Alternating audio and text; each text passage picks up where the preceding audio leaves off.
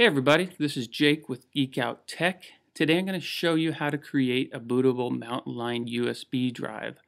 This is something that you're going to need if you're doing a fresh install of the Mountain Lion operating system, if you're upgrading multiple Macs, or if you're restoring from a time machine backup. First, you'll need to pay for and download Mountain Lion from the App Store. If you already have Mountain Lion on your computer, you can go to Purchases and download it again.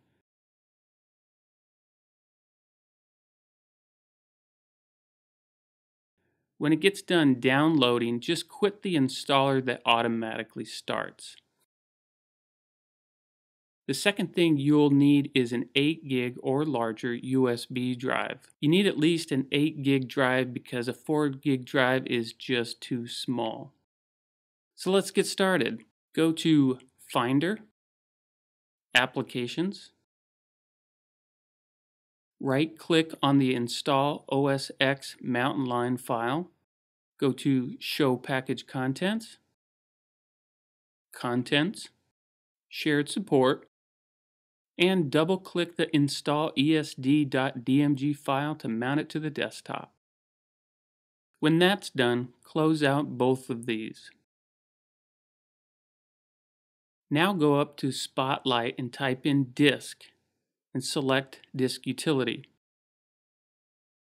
Now I'm going to be a little bit extra cautious and eject my Time Machine backup drive and unplug it so I don't accidentally mess it up. So I'm going to right click the drive and eject disk and then unplug the USB cable.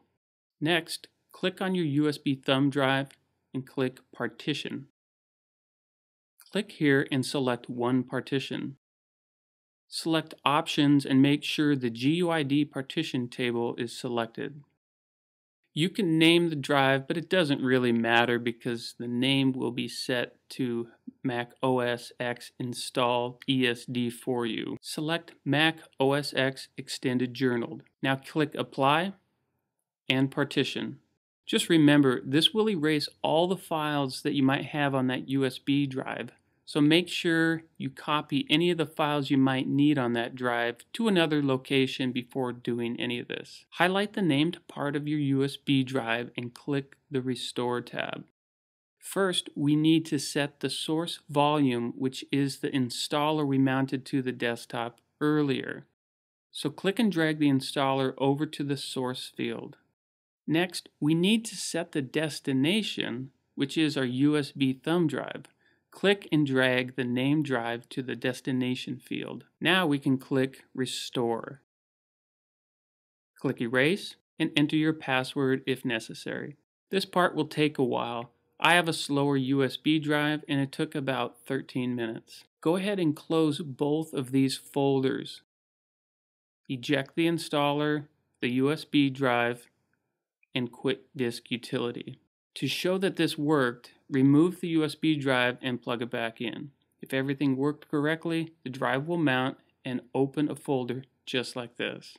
So that's all there is to creating a bootable Mountain Lion USB drive. Now, if you want to boot from that USB drive, just power down your computer, plug in the USB drive, hold down the Option key and power on the computer. And be sure to keep holding down the Option key until you see your boot drive options. From here, highlight the USB drive and click the arrow below it. Now this is what you should see if you've successfully booted from the USB drive. This is Jake with Geek Out Tech. Please click the like button and subscribe. If you have any questions, please leave a comment down below. And I'll see you next time.